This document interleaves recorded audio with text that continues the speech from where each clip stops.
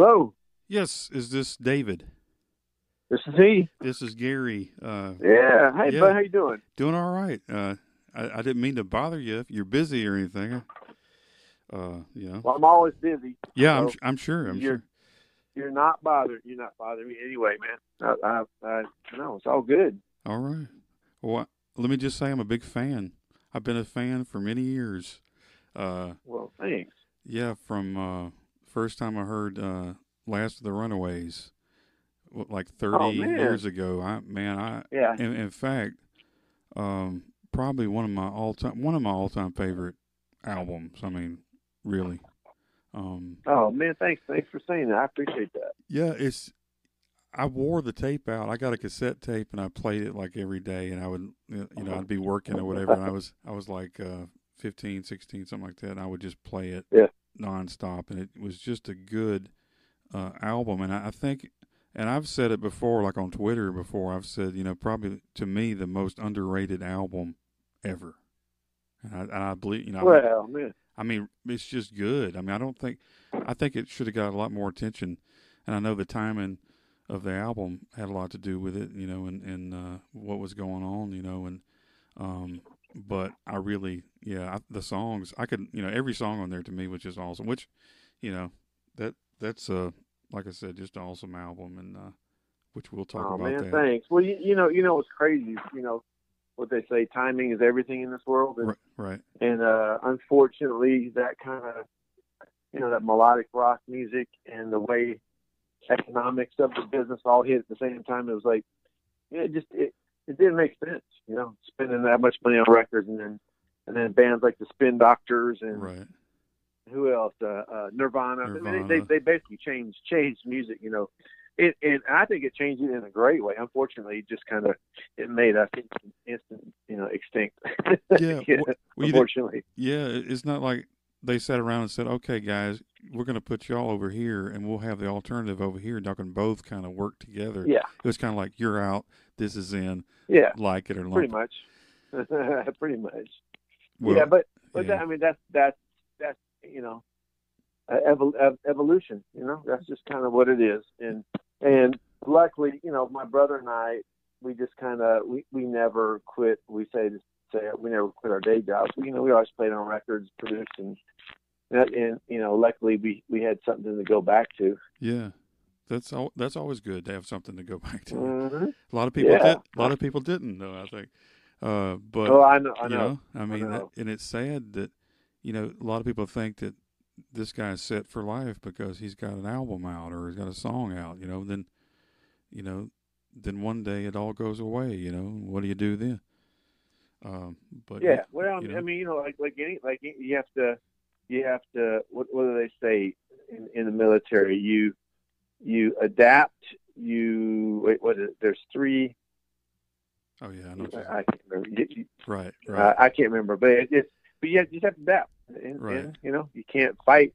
Can't fight evolution. Can't fight technology. You know, just got to keep moving with it. So that's, moving. so that, that's that's kind of, that's kind of what that's what we do. You know, that's what we did. well, that that was a smart thing for y'all to do. Got to say. Uh, so, uh, so how old were you when you started playing the drums? Uh, I was in fourth grade when I started.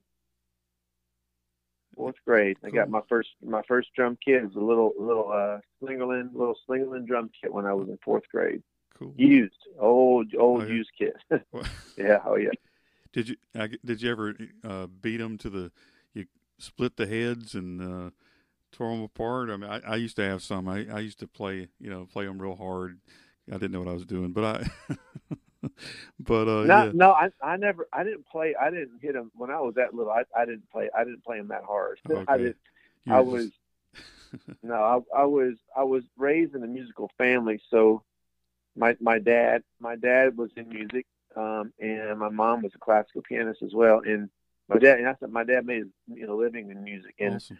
And uh, so so so I was around, it, and I had I had it wasn't like just like a hobby.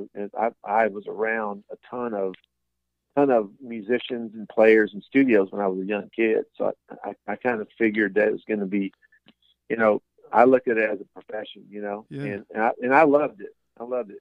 Yeah, You, I guess you gotta love it, especially, and I guess that's what keeps you going, and that's why you've survived, is because you do love Oh it, Oh yeah, right? absolutely. And- Absolutely. Yeah. Yeah, al- always adapting. I mean, obviously, always adapting to new, new. You know, music. Music is a moving target. So it always changes. Always. So you got to kind of stay up to with what's going down, and, and uh, Right. so Yeah. that's that's you know, yeah. Awesome. And your brother, of course, is uh, Dan Huff, is lead singer of Giant, and and he's played with everybody. Like I was looking at some of his stuff too, and it, he's played with everybody. Is there anybody that he hasn't played with on on an album?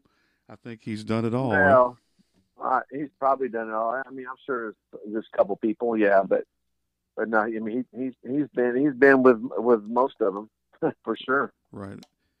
And uh, so so he's playing guitar and you're playing drums. Did y'all ever jam out when y'all were younger and say we need to form a band one day, or did you ever think about that back then? Well, of course, yeah. I mean, you know, you that's when I started playing drums, fourth grade. I started making money in ninth grade as a freshman in high school playing on records. So, Oh wow. so yeah. I mean, we, I mean, my brother and I, we, we're best friends, and Awesome. we, we have literally worked, jammed, we have toured, we have played on, we have, you know, yeah. Just- in the early days, we jam, we jam all the time, but, but we also, we, uh, I guess we were serious enough to actually get up, be able to be paid for it, you know. So, so the jams got less and less, and we we played on, you know, playing records, and yeah, and we always wanted to. to we didn't we didn't really, you know, set out to be in a band, but we but we just we kind of wrote some stuff on on the weekends, and and uh, and it turned into turned into Giant, which Right. in a good way. That's awesome. And but before Giant, you were with Whiteheart.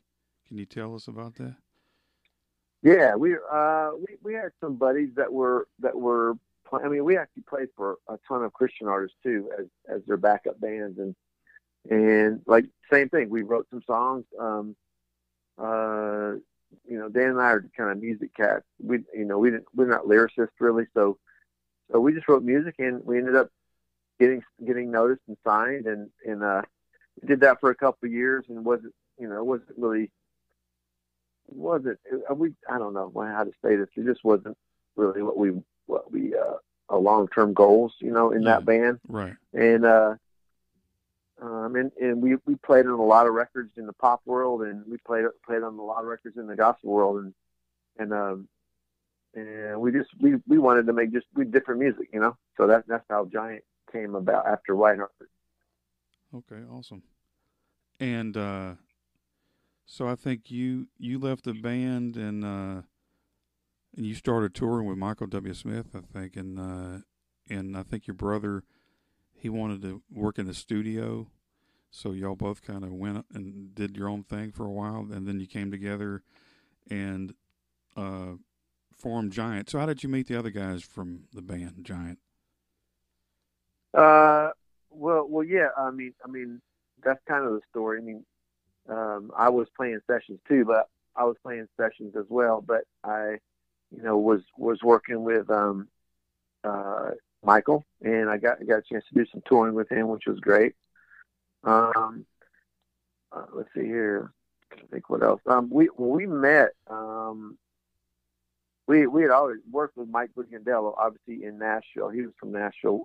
Dan and I were living in LA at the time, so we we worked with um, I think we worked with Mike in Nashville in LA. Dan had met um, what's uh, Alan on a couple. I can't remember the exact project, but they they worked on a couple things together, and so that that's kind of how that started. Awesome. And uh, so you get together and you you form the band. When did you realize that it, it kind of clicked and you said, "Yeah, we need to, you know, record this album and it's going to be good"? And how how did the album come together? Well, we we got um, like I said, we did some demos. Didn't really know what to do with it. We we ended up um, uh, connecting with a guy named Keith Olson who produced um, uh, Fleetwood Mac and a bunch of you know bunch of huge artists. And he, uh, I think we'd all worked with him on on a couple projects. You know, in the studio world, he owned a studio called Goodnight LA, which was in uh, the Valley Uh, of L.A. A bunch of famous, you know, artists and bands played there. Anyway, he he wanted to he wanted to sign us to a production deal, so we had actually got together and set up in his studio to to record. I mean, basically, what we weren't named Giant at the time, but it was basically that, you know, and and we didn't have a manager, so we kind of we we were in the studio getting sounds and you know ready to kind of record, but we we didn't have our infrastructure set up. So, at the advice of a couple friends, man, you know, hey, um, you probably need a manager before you sign up any kind of production deal or whatever, right. that kind of thing. Right. So, so we we uh we, we left our gear and we was like, okay, that's a smart idea. So we, we ended up uh, we got a manager who was a, Bud Prager, who was a manager of Foreigner, Bad Company, and a couple other big bands, awesome. and and uh, and and then and then, then we kind of we got our game plan after that point. So it wasn't just a production deal. We kind of we got everything in order, and then then uh, then we got signed. Um, I can't remember the timing, how much longer. It wasn't that much longer. But Herb Alpert actually called us from his, his cell phone in the car, and, and about 30 years ago, which was way ahead of the time at that time, and yeah. and uh, gave us an offer. Awesome. Wow. I remember Dan and I were together when he called. It was it was wild. Wow. Surreal.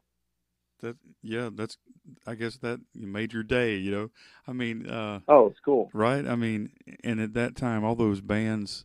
There was a lot of good bands at that time. You know, and and you know what's sad is like you said, even though you adapted you know, and with the alternative music coming, you know, uh, but you didn't see it coming. So many bands out there, you know, and I remember thinking, man, all this good music. I didn't realize that was slowly gonna be it, you know. But I, I did appreciate I it, man. I was, I knew that this, you know, was a good time. I knew that the music was just awesome, and like I said, I played the crap out of that that album. But the last of the Runaways, though, that that was your first record, and what what are the last of the Runaways? What did, where did that come from? That idea, that title, and the song, and everything. What's that? Um, I, I don't know where. Um, uh, I mean, it obviously came. It was one of the lyrics, some of the lyrics, obviously, but um, everybody asked, like, you know, how you got the name and all this stuff, and, and then from the, the is, is that that's your boot on the front cover, and it, and it wasn't. I mean, it was, it, we we got our name um, after we got signed. We didn't, you know, didn't know really what to call it, and uh, we we had seen a picture um, in a little cafe up in in California somewhere, and and it was that picture of a boot, and it reminded us of you know, it just it was just cool. Yeah. It reminded us of of us kind of in in the movie Giant, and kind of like somebody has suggested uh, that name and, and with the movie and so it all kind of went together, kind of fell together. The Last of the Runaways is, is a, I think one of this is I haven't listened to that record in a long time. But I think it's one of the lyrics in one of the yeah, songs. Uh, the innocent Pretty days, sure. innocent days, right? Yeah, I think so. Yeah. you you, you Yeah. know better than me. I- b- is, believe me, I, I was gonna believe me. I know this album. Yeah, the lyrics. Uh, these are the inno- innocent days. I know we're the last of the runaways. Never, oh, perfect. never perfect. return till love takes us home. Yeah, I know it. I know every song by heart. Just saying. I love it. I mean, I do. I I, appreciate. it. I just, I, I mean, honestly, you don't realize I, I love that album. Um, and then the, um, the cover, I think, I, I think it was the front of the cover. I think it had like this, uh, uh, like oil well, like this rod well in the background. Was it? Yeah, yeah, that, yeah. And I, I worked on those later, you know, and those, those aren't fun. But anyway, um, but so how, how did you how did y'all decide we want to put a well in the background of this you know and, and y'all had the uh you had like a jackets and the boots standing there it was really cool uh shot a cool uh picture you know for the album i remember i was like these guys well, that that cool was that was, you know, we were in L.A. That was like south of of the of the LAX airport, somewhere down there. We had driven by, and, and uh, the photographer. I don't remember who took our pictures, but but they they had suggested a couple of different um, places for for you know for photos, and and that just worked out. It worked out with the with the name, the cover, and I, it just it just worked out really well. yeah know? I, I i think so too i remember the first time i saw it i was i was impressed you know it, it fit with your sound i mean it was just really cool and uh You know, I liked it. Um, but I remember though, and it kind of confused me, you know, at the time because, you know, there was a there's another David Huff that's in the Christian music, right? And he was with uh, David and the Giants, and I thought, there's David Huff.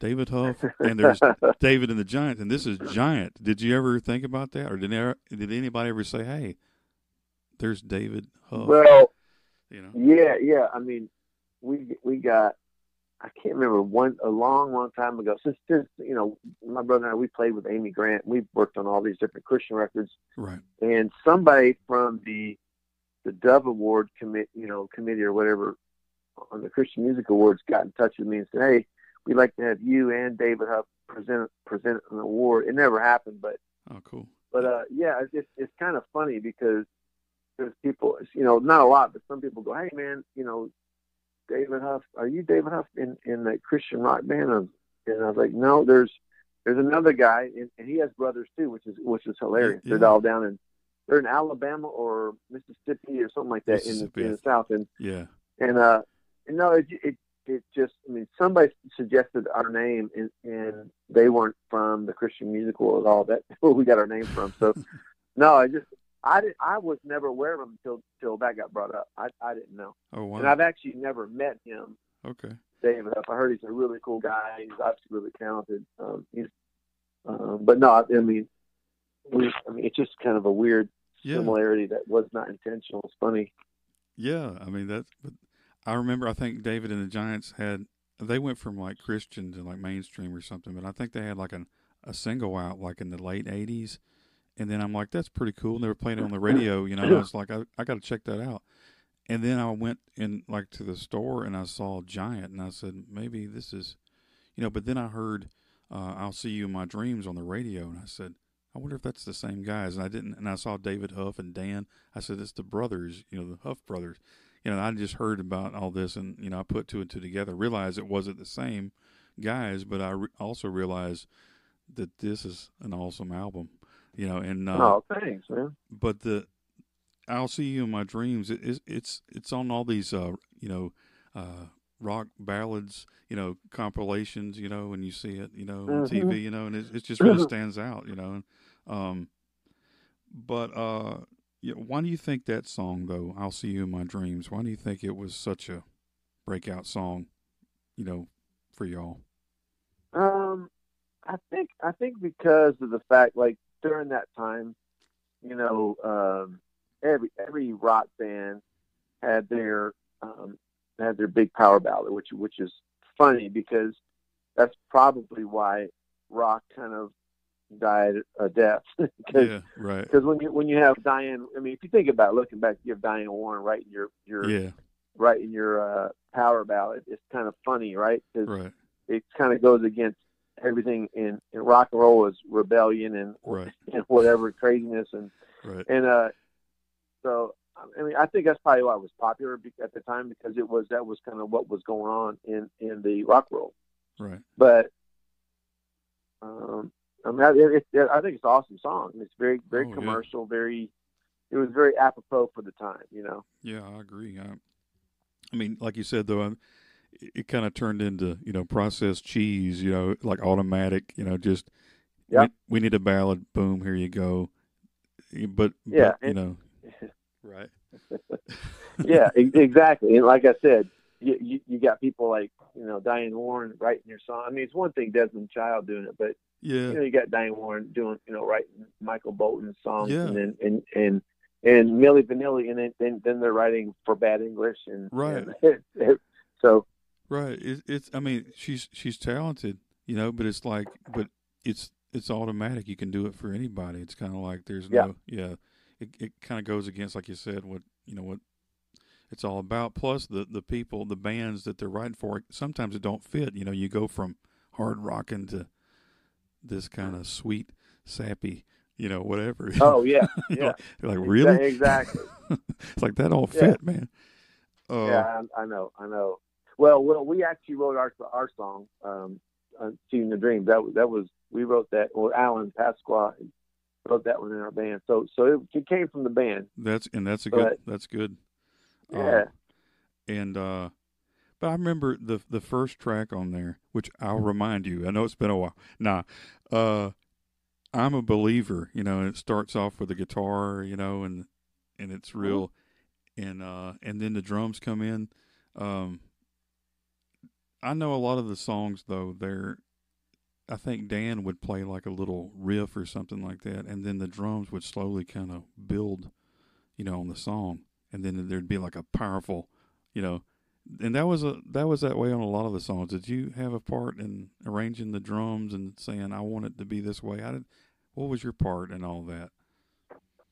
Well, yeah, yeah, we we all did. I mean, the the funny thing is that, that I'm a believer. I I started writing that song. I was the one that started that, and and then and then uh, Dan heard. I, I was writing some demos. He heard that and he goes, "Man, let's let's use let's start let's write this." So so he he started writing on it and then pulled in a couple more people on it. Um, Mark Spiro being one of our good friends, and and uh, so it just kind of worked that way because it, it was it was around the loop and it was around to some huge drums. And Yeah, and, that, and that's that's kind of how, I mean Dan and I like we like I said we've been playing since high school together.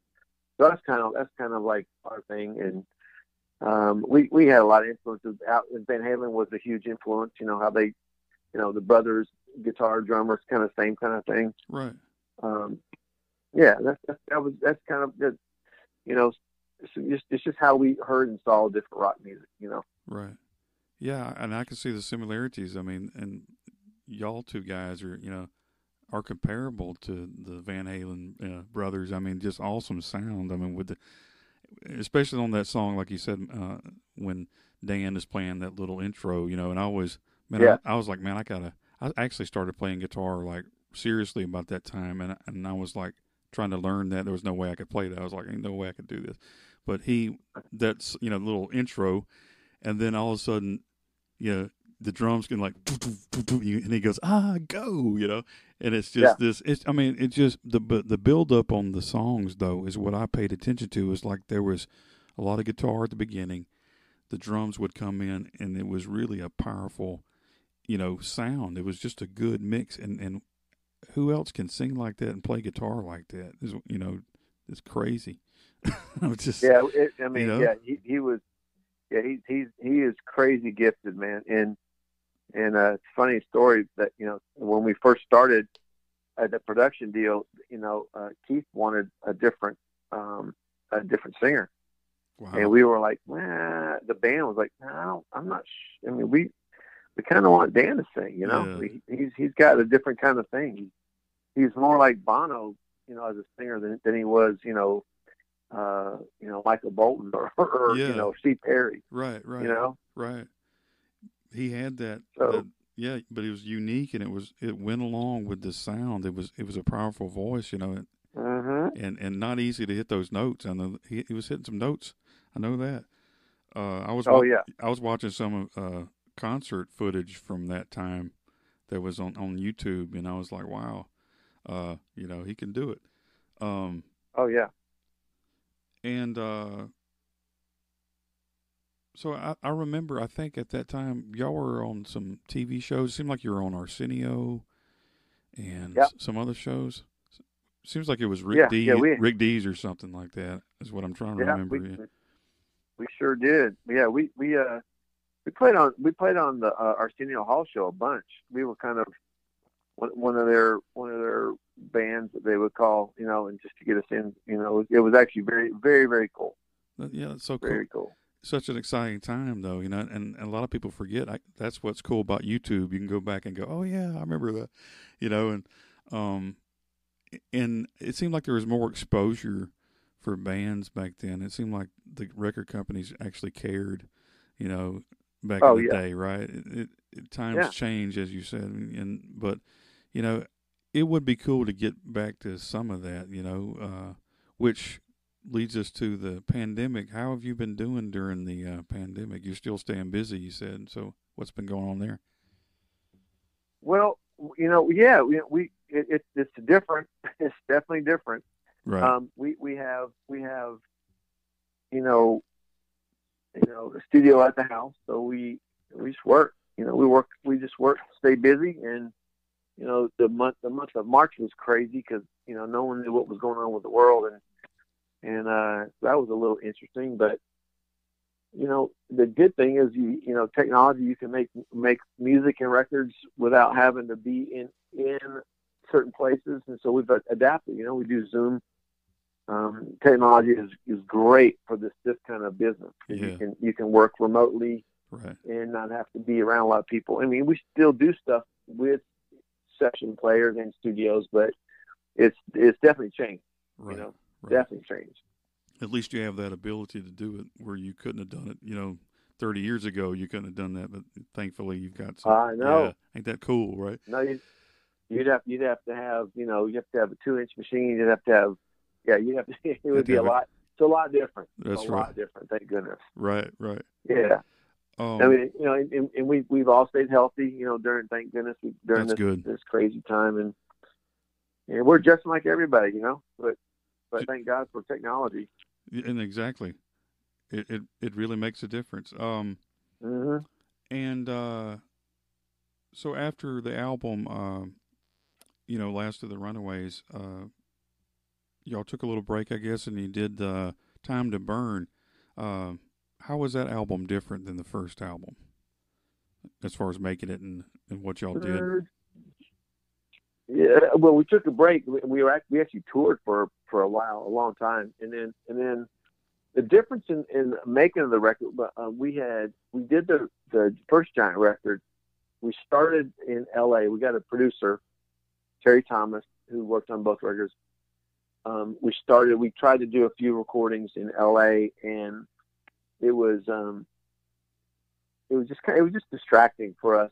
It wasn't uh, the the the producers on, on his home court, so to speak. You know, he Right. made he was an awesome producer. He just we LA just wasn't his thing, so we actually stopped, shipped everything, all our gear, shipped everything, even the B three, shipped everything over to London, which was Oh wow! and no one would do that now. But we we shipped all our gear and made a record in London. We we lived there for three months while we made a record and Wow! residential studio, which was great, uh, Farmyard Studios, and so so that was a cool process. And uh, and then we we flew when we mixed it. We flew once a week. We'd come from L.A., come back to press, and we'd fly once a week to, to do mixes in London, which was crazy for about a, about five six weeks in a row. Wow! So so the second record. By that time, we had moved to Na- back to Nashville. Dan and I moved back to Nashville. Of course, uh, Mike was living in Nashville, but we moved back just because to, our manager was out of New York. Our we we switched labels. We went to Sony, at, which was out of New York, and just easier. We were just flying from LA all the time to New York, anyway. And and uh, so we moved to Nashville, and then we actually made the second record in Memphis, Tennessee. We we um, all planned just we to live in Memphis. We uh, you know it's just easier away from home just Yeah. to, to to be a band Right. Um, because of sessions and all that kind of stuff just kind of got straight. So we we moved into the Peabody Hotel, which was the owner is a friend, and, and he owned the studio that where we recorded, and we we recorded the second record in in Memphis for a couple two three months. Awesome! Wow. And uh, I remember. Uh, I don't. know I'm trying to remember. I think I saw an ad for uh, the album "Time to Burn," like in one of these rock magazines, and I was like, "Oh yeah, giant." And he had the little logo with the G and the little triangle looking thing. I think. Oh yeah, And uh, yeah. and the guy, the stunt guy, I guess, on the fire, like flying through the air. and I was like, Yep. this is going to be cool. I, I remember being excited. I remember I went to the mall and bought the cassette. Oh, how cool, man! and How I, cool. and it was just real. I remember I listened. Uh, I was, I think I was with my brother, and I was sitting there. I think he went inside. I said, "I'm going to stay in here and listen to this album." And I listened to the whole album sitting in the car. But uh, and I was really impressed uh, with the sound too on this one, um, and the um, uh, which you know what was it, chained and uh, stay. Uh, was a couple of Yeah. songs that were, and I remember the video. I think "Stay" was, I think you were on a beach or something. yeah, Um, yeah, yeah. yeah, Yep. and and so how how fun was it making these videos? Uh, did did you have a good time making the videos? Oh man, man, we always had fun making the, videos. We always had a lot of fun. Um, you know, in between, in between, we, we would usually do them in between tours and stuff too, you know. Yeah. So yeah, it was, it was always fun. I mean, make, you know, that's part of, that's part of the art part of the, of the world. And, and, uh, I mean, they, they were, it was a lot bigger production back then, you know, doing videos. It was, it was definitely different than now. Yeah.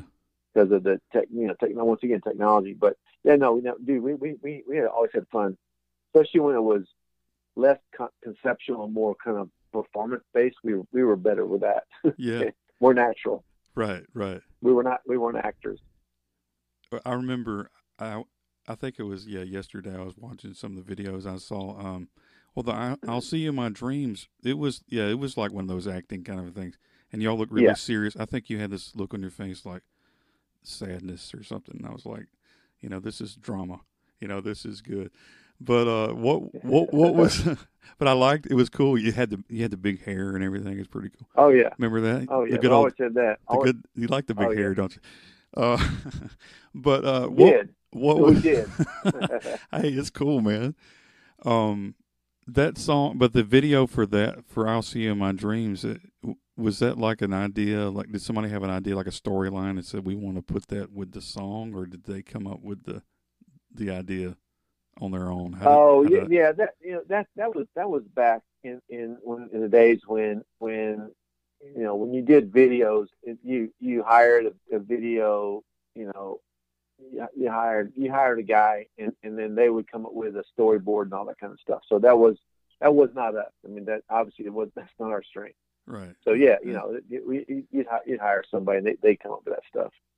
Hey, I liked it. it. It's cool though. It's cool to go back. I always like to to have the video with the song and kind of remember and, and and think about it, you know. But but I didn't see the video till Oh, yeah. after I think I'd already, you know, they say what video killed the radio star and all that stuff. I always have this imagery in my mind, so a video does kind of spoil it to a degree. But if you got an imagery in your mind, you're thinking, oh, this is what happens, and this person, you know, I'll see you in my dreams. You know, is like I remember listening to it. I think it was, I know it was 89, 90, in spring of 90 when I, when I first heard the song. And, uh, you know, I was just visualizing somebody, you know, going to sleep and thinking about, you know, the good old days or something like that, you know, but, Yeah, you know, and, and just pondering over, you know, the lost love or something, you know, but it, yeah, but that's what I like about bands with the imagery, the songs, there's harmony there. And I know you sing some, uh, ba- backups and, uh, hmm and the whole it was just a whole package i mean you had the great guitar the bass drums keyboards you know just singing it was just a whole pack that's to me that's a band that's, that's like i'm a big journey fan so you've got that same kind of band you know that's got it fills in the parts and it fits the songs and everybody's a talented guy in the band that stands out and it you know it makes it every you know everything's better you know and it's like whoa this is good stuff you know Well, well, I appreciate that. Thanks. I mean, yeah, we we we were, you know, we wanted to be, you know, we we weren't just a we we, we weren't weren't a party band. We were we were a band that you know that loved and was proud of music. You know, we we Right. wanted to make sure that that the, the music, you know, stood up there, and, and, we we liked we liked, you know. We we got we got compared to Toto when we first started, Oh, which wow. was which was also um, it was you know like oh thanks you know get compared to somebody like that was crazy. Yeah, I mean that. I mean, but I I put y'all up there too. I mean, you know, as far as sound, I mean that, and y'all had a unique sound, I believe. You know, and I think it it's just something that really stands out in my mind. That I think if people would go back and just listen, I think there would be a new generation of fans that go, man, this is this is awesome stuff. You know, this is this is real music, and that's the name of my podcast. But I mean, it's real. It's not cheesy. It's not overly done. It's just perfect, you know, and and uh, you know that's just how it is. Um, oh, well, do well. Thank you, thanks for your kind words. yeah, You know, it, it there there is a power to rock music that you know we, we don't really see it a lot. You know, and if you go see a band live, you know, this is obviously crazy because no, there's no live music right now, but right.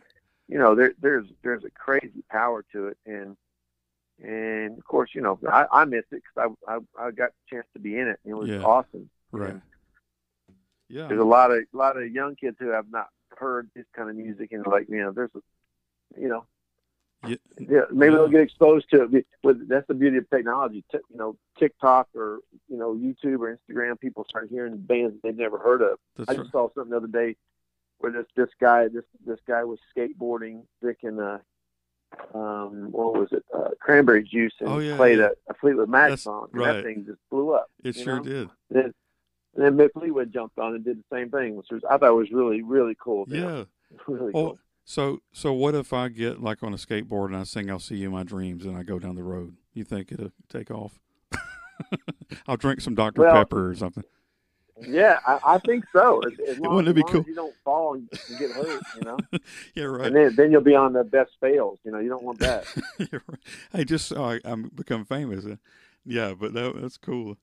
Um, so uh, so after those albums, y'all, I guess, did y'all disband after that? Did y'all realize this ain't working out? How did what happened after the second album?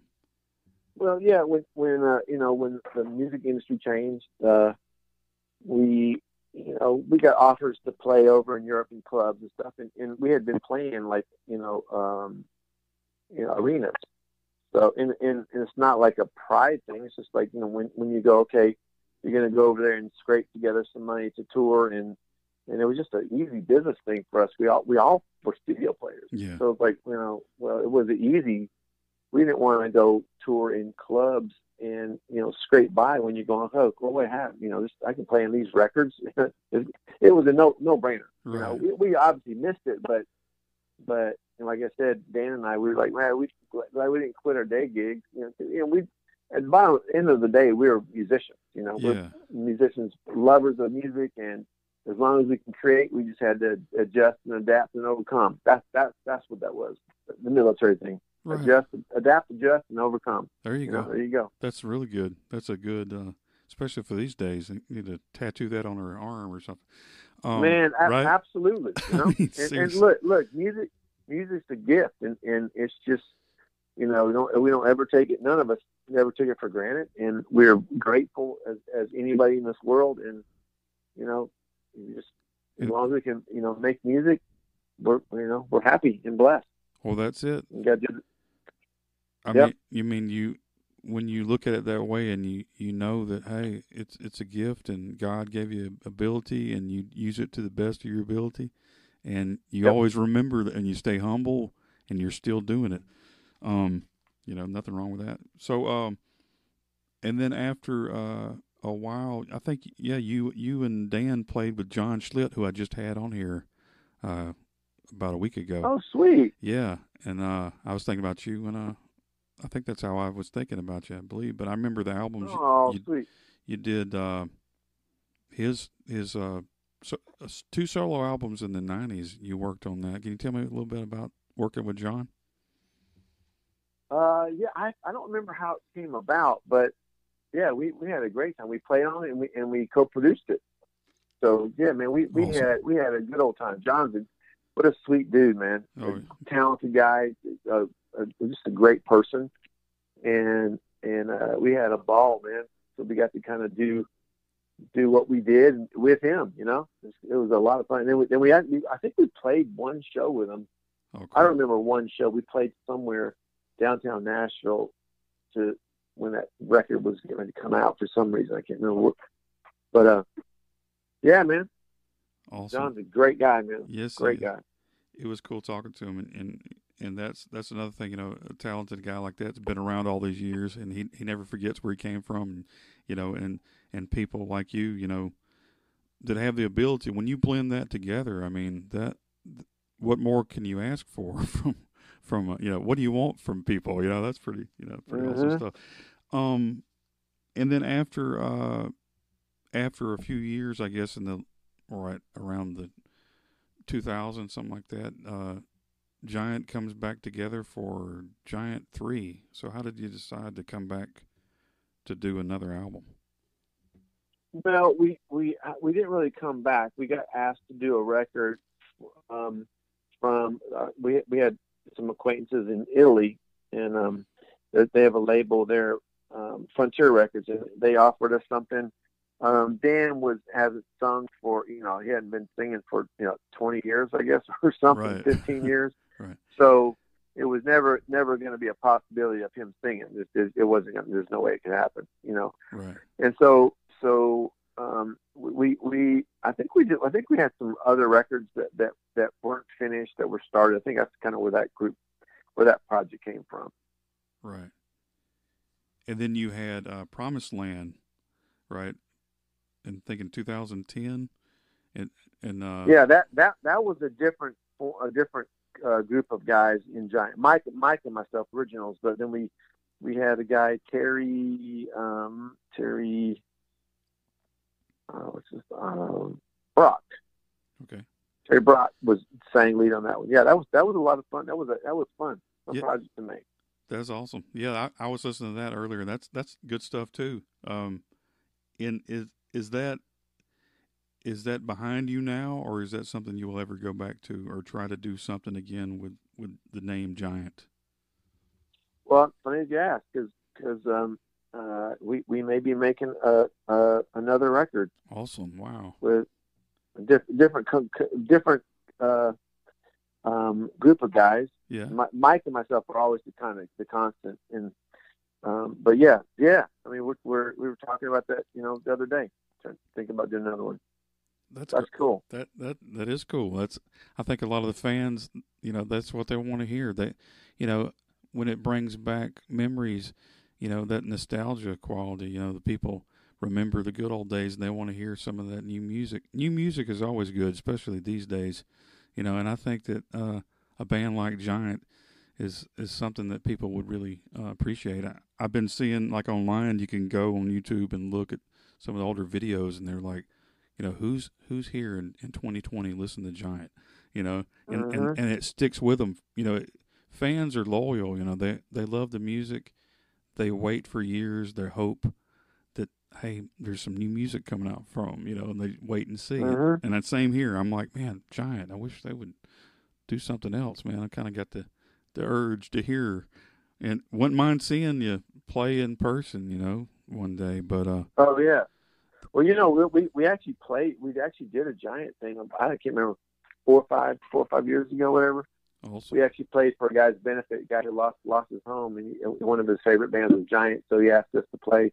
And we actually, um, Dan didn't sing. We we got a buddy to sing, um, but but it was Dan and I and Mike, and we we got a keyboard player to play with us and a singer. And it was it was we played in Nashville awesome at, at a at a club down uh, a little small club. It was fun. It was a lot of fun. We just did three songs, just try to help him, you know, you yeah know, out of his bad situation. yeah It was fun. It was it was good. Good time. Wow. You need to do that more often. Is that something you I know. planning on? You need to plan that with it, get a new album when all this junk is over, the pandemic. You can do another show like that. How about that? Absolutely, man. Absolutely. I would love to. that I think a lot of people would be uh, eager to see that. I, I know I would. I, I have to be there. See, I'm I'm, I'm looking.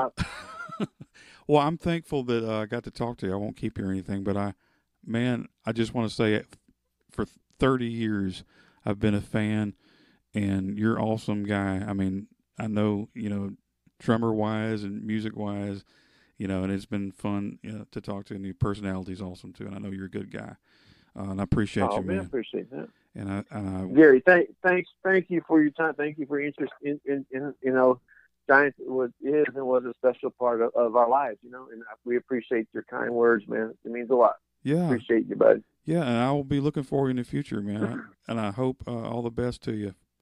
You know, and uh, we'll- Thank you. You you too, man.